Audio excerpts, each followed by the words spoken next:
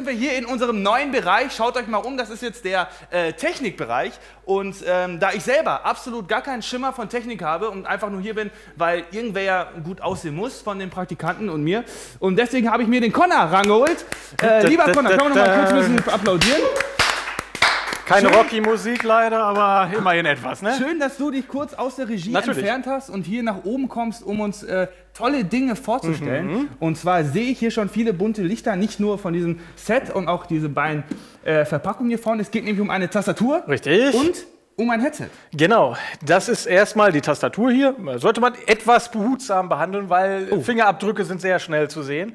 Also das ist die Was natürlich fatal für jede Tastatur ist. Ja, das ist, ist nicht so schlimm. Die wird dann nicht auseinanderfliegen von, aber das hat leider so ein, äh, wie soll man sagen, gummierte Überzug und der ist halt nicht wirklich für Fettfinger gemacht. Ne? Fühlt sich aber wertig an. Vielleicht Ja, ja, kann das ja der stimmt Christoph mal kurz rumkommen. Das Scheu dich nicht. Muss sowieso ziemlich viel rumkommen, das Kamerakind heute, weil wir haben ziemlich viel zu tun mit dem Ding. Ja, geiles Teil. Ja, auf jeden Fall. Also, ähm, das Wichtige an der Black Widow Chroma ist, dass man 16,8 Millionen Farben für jede Taste verwenden kann. Das ist 16,8 Re- sech- Millionen 16,8 Millionen.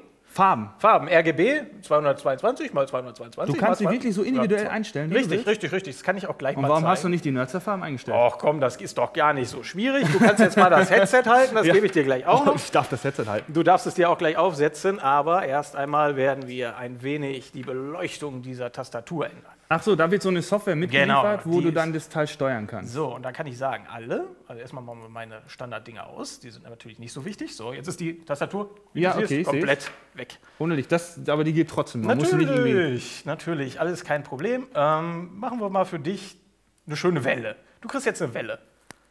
Guck mal drauf. Ach cool. Regenbogenfarbe, Welle in äh, Regenbogenfarben. Kann man auch noch anders einstellen. Wenn man Und das, möchte. und das geht jetzt permanent die ganze Zeit. das kann man auch noch einstellen, dass es auf Tastendruck angeht, auf Tastendruck wieder ausgeht. Ähm, was aber wichtig ist an der Tastatur, das ist eine mechanische Tastatur, das heißt, die Tasten sind sehr, sehr, sehr, sehr, sehr stabil. Und ja, die zwar halten dann lange, ne? Richtig, 60 Millionen Anschläge pro Taste. Bei anderen mechanischen Tastaturen ist es weniger, sind es 50 Millionen, das ist auch noch eine ganze Menge, aber 60 Millionen durch diese neuen Razer-Schalter, die da drin sind, ist megamäßig viel. Und ich glaube, das werde ich in meiner ganzen Lebensspanne von dieser Tastatur nicht schaffen, diese 60 Millionen Tastenanschläge hinzukriegen. Wichtig ist aber auch, ich zeige hier noch ein bisschen von der Tastatursoftware, beziehungsweise von den tollen Farbeinstellungen, die es gibt. Die Welle machen wir mal wieder aus. Muss der liebe Christoph hier wieder rumkommen. Und wir machen einen Plätschern-Effekt. Ach, das ist mit dem Tippen, glaube ich. Richtig, ne? mit Dann möchte ich jetzt tippen. Ich leg mal das Headset hier unten hin. das kann ich auch anders einstellen. So, plätschern an. So, jetzt haben wir, jetzt haben wir die Standardtasten Tasten von mir. Soll ich mal drücken? Und jetzt drückt drauf. Es Wow. dürfte auch noch plätschern. Das sieht man schlecht wegen dem ganzen Licht hier, aber wenn er richtig drauf hämmert, der Marci, ist das kein Problem. Ach, ist das auch nach, nach Druck? Nee, das Nee, nee, nee, aber äh, ich meine, wenn du schneller tippst, dann äh, plätschert es auch besser. Aber was Das du ist gerade- cool, was du auch merkst, ist, dass so eine Tastatur recht laut ist. Ja. Und ich habe die schon ein bisschen gedämpft. Da gibt es ja diese Ich Möglichkeit. gehe mal einmal mit dem Mikro näher ran, ja, genau. noch, ne? das ist die ungedämpfte Version. Das ist die ungedämpft, warte, Achtung, ungedämpft. Und jetzt gedämpft. Das ist ein großer Unterschied für dich. Ich hoffe, man, ich hoffe, man hat so gehört, es sah, nicht nur doof Ja. aus, sondern es hat auch tatsächlich, äh, also hier in, in echt, In echt Da ist- hört man da wirklich das echt besser. Aber ich glaube, das ist äh, für die Mikrofone so eine Frequenz, die man nicht so gut hört. vor, vor, vor allen Dingen für Let's Player vielleicht auch wichtig, ne? wie wichtig. die halt wirklich äh, da dann auf der Tastatur auch rumkloppen und dann die ganze Zeit Tastengeräusche ist nicht so geil. Ja, gut. Das siehst du jetzt, Marci, siehst du nicht, aber wenn wir das hier mit der äh, mobilen Kamera mal einfangen, ähm, die Tastatur hat hier drei Slots, einen USB-Slot, einen äh, Mikrofon und einen ähm, Kopfhörerslot und die gehen direkt an den PC weiter. Das heißt, ähm, man kann mh, sein Headset da dran anschließen und hat keine Sorge, dass es irgendwie andere Soundeigenschaften hat. Die gehen dann direkt in die Soundkarte des PCs rein.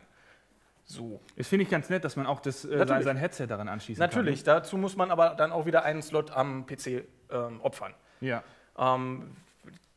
Na gut, in der Regel man- machst du ja auch nicht mehrere ja, Sachen. es gibt, es gibt äh, bei der PC-Software noch diverse Einstellungsmöglichkeiten, die kann ich auch mal ähm, zeigen, indem ich hier die Tasten anpasse. Vielleicht sieht man es mit der mobilen Kamera. Man kann pro Taste wirklich die Tastenzuweisung machen. Eine Standardzuweisung ist natürlich, wenn ich jetzt die Taste D hier habe, dass D gedrückt wird. Ja. Natürlich kann man aber auch sagen, die Taste ist deaktiviert, dann ist die Taste D gar nicht an. Du falls D- man zum Beispiel beim. Spielen aus Versehen immer auf eine Taste kommt, Richtig, die einen stört, genau. dann stellt man die eben aus. So einfach. ist das. Und das könnte man speichern, mache ich natürlich nicht. Ich brauche natürlich das D. Aber äh, kommen wir doch. Für Wörter wie Dildo, ja, genau. Döner, Döner, Domina. Dödel, Dödelmann, genau. Das sind Wörter, die man alltäglich. Nerdstar. Ne? Genau. Brauchen wir auch. So, aber wo, Unbedingt. Du, wo du jetzt das äh, Headset hier noch hattest, wo hast du es hingepackt? Hier unten habe ich hingemacht. Aha, da macht das richtig gut. Pack das gut weg. Ähm, du siehst am Headset, dass es zwei äh, leuchtende ähm, Ohrmuscheln hat. Achso. Das sind Ja. diese roten Dinger da. ne? Und das kann man äh, jetzt auch ändern. Die Beleuchtung kann man so ändern, wie man möchte. Zum Beispiel kann man eine. Wie sieht man es hier? So Ah, das ist ein bisschen schwierig. Ich mache mal einen Spektrumwechsel an. Cool. Und äh, das Spektrumwechsel kann ich auch einstellen. Guck du jetzt mal auf die Tastatur. Mhm. Tastatur, Spektrumwechsel ist jetzt lila. Guck aufs Headset, ist auch lila. Ach cool, das ist dann Das ist synchronisiert. synchron. Ist, dann auch die Wellen auch darauf? Nee, ne? Die Wellen gehen nicht, es Nee. ist nur Spektralwechsel. Also was Aber jetzt diese ist, Wellen, die- ging das? Äh, nee, auch leider, schnell leider nicht. Das, das ist äh, nicht möglich. Es geht auch ein statisches Licht, das ist langweilig, das brauchen wir jetzt nicht zeigen. Oder ein atmendes. Ich mache mal ein atmendes in Nordstar Blau ne? Oder so ähnlich. Das Das ist übrigens 100% Cyan. genau. So, jetzt guckst du mal hin, da ist das halb, halbwegs 100% Cyan, was da darauf kommt. Ja, das sieht schon So halbwegs, ne? Das können wir beim Kuchen mal daneben halten. Der Kuchen ist ja äh, Nerdster getreu. So, Marci, jetzt äh, setzt du dir mal das Headset auf. Ja, weil da gibt es nämlich ein kleines Problem oft bei Leuten Richtig. wie mir, die ähm, eine Brille große tragen Ohren und eine Brille und Tunnel. dann diese Ohrringe halt haben. Äh, ist schwierig oft, weil es drückt. Nach einer, nach einer halben Stunde fängt schon an zu drücken. Und das wirst du sofort merken, leider. Diese Warte mal, habe ich ein bisschen mehr bist, du Spiel? bist ein bisschen mehr Spiel hast du. Ich, ich mach das schon. So. Also so geht es noch, aber nach einer Zeit wird es ziemlich drücken. Und du wirst mich auch nicht hören, Noch oder? ein bisschen geht, aber es ist Ja, dämpft es, schon es, es, es dämpft ziemlich ab. Ähm, das Headset hat einen recht basslastigen Treiber drin. Das heißt, es geht runter bis zu 10 Hertz. Und 10 Hertz ist ja eine ganze Menge Bass. Mhm. Äh, geht auch hoch bis 100 Kilohertz, also ist alles ein guter Bereich. Ähm, was auch noch wichtig ist, das hast du da an deiner rechten Ohrmuschel, beziehungsweise von mir ist es rechts, äh, Ja, das hier, ne? das, hier, das, was da leuchtet, das kannst du mal rausziehen. Ach, das kann man rausziehen. Das kannst du rausziehen, das ist das Mikrofon. Ach, cool. Das kann man gut verstecken in der Ohrmuschel. Das heißt, das Mikrofon ist wirklich komplett eingedreht. Ähm, ist ein digitales Mikrofon, das heißt, es geht auch über den USB-Slot von dem Headset. Aber es ist natürlich nicht zu vergleichen mit dem Mikrofon, was wir jetzt hier benutzen oder sonst. Es ist ein bisschen gedämpfter, hat ein paar Nebengeräusche, ist nicht gerichtet. Ähm, und somit würde ich es nicht unbedingt auch für Sprachaufnahmen verwenden, aber für ein Teamspeak-Gespräch geht das auf jeden ja. Fall. Aber was ich schön finde, ist einmal, dass man es so schön äh, einfach reinschieben kann. Richtig, das ist Ge geht das dann automatisch auch aus? Wird das dann aktiviert durchs Rausziehen? Pass auf, das Ding ist aus, wenn, das, ähm, wenn es hier äh, rot leuchtet. leuchtet. Ah, und da okay. gibt es so eine kleine Taste dran, da kann man es aus- und anmachen. Das sieht man fast gar nicht. Ja, kann ich mal? Ja, ja, Ach, da ist die. Ja, jo, da- ich sehe sie. Ja, man, man, man fühlt sie aber. Sie hat einen Richtig. schönen Widerstand, dass man nicht jetzt auch erst, erst das Headset abnehmen muss, Ja. sondern man kann auch so fühlen und drücken. Das ist, wär, wäre mir zum Beispiel wichtig. Ist ganz geil, das lässt sich auf jeden Fall total verstellen, wie man will. Genau. Ist so ein weiches Gummi und äh, lässt sich sehr gut irgendwie an die eigenen Bedürfnisse anpassen. Ähm, kurze Frage aus äh, jetzt eigenem Interesse. Wenn ich jetzt das drin habe, das Mikrofon, Mhm. und dann sprechen würde, ist das immer noch okay oder muss ich es rausziehen? es ist, wenn du es drin hast, aus. Dann ist es Ach so, nämlich- dann ist doch wird, aus. Dann wird der, die Taste direkt gedrückt, da ist nämlich so Ah, eine okay, Art okay. Widerstand dafür da. ah ja, alles klar. Ja, Das Mikrofon kann man, wie gesagt, ein, äh, wieder einfahren und äh, das äh, Headset kann man auch ein bisschen einklappen. Ich weiß aber nicht, wofür es jetzt gut ist. Es geht minimal, aber es ist ein bisschen schwer zu tragen, finde ich. Ja. Aber ansonsten ist es halt, also man hat hier oben leider wenig Polster. Das finde ich auch, das drückt ziemlich auf den Kopf Ja. nach einer Zeit. Ich habe es jetzt wirklich ungefähr äh, zwei Wochen im Dauertest gehabt und äh, in diesem Dauertest habe ich immer ziemlich Druck auf den Kopf gespürt, Ja. äh, weil es ist kein gutes Polster da. Vielleicht ist da aber auch einfach so viel Wissen drin. Das kann auch sein. Ich habe so, ich hab sowieso so eine Delle im Kopf hier. ja, das, das drückt dann auch. Richtig. naja, okay. Ja. Also, das wäre das Headset. Das wäre das Headset. Kritische Stimmen dazu aus dem Chat, Ja, wenn die bitte. erlaubt sind. Natürlich. Äh, ja, also ich höre hier, also zum Beispiel vom, ähm, vom Ambru, der gesagt hat, er hat es einen Tag lang gehabt äh, und muss es weggeben, weil der Treiber nicht funktioniert hat bei ihm. Oh, okay. Und äh, ohne Treiber ist nicht zu gebrauchen, sagt er. Zack, direkt raus. Ähm, Nintendo schreibt, äh, oder kritisiert eine generell miese Verarbeitung von ähm, Razer von Razer-Geräten grundsätzlich. Äh, miese Verarbeitung und minderwertige Materialien ist natürlich ein hartes Wort. Das kann man nicht so pauschalisieren. Es gibt auf jeden Fall äh, Geräte wie zum Beispiel die Tastatur, die ist verdammt gut verarbeitet. Ich finde auch wirklich, dass die Tasten kein, fast kaum irgendwie ähm, hin und her wackeln, wenn man da drüber fährt. Mhm. Also es ist wirklich gut verarbeitet.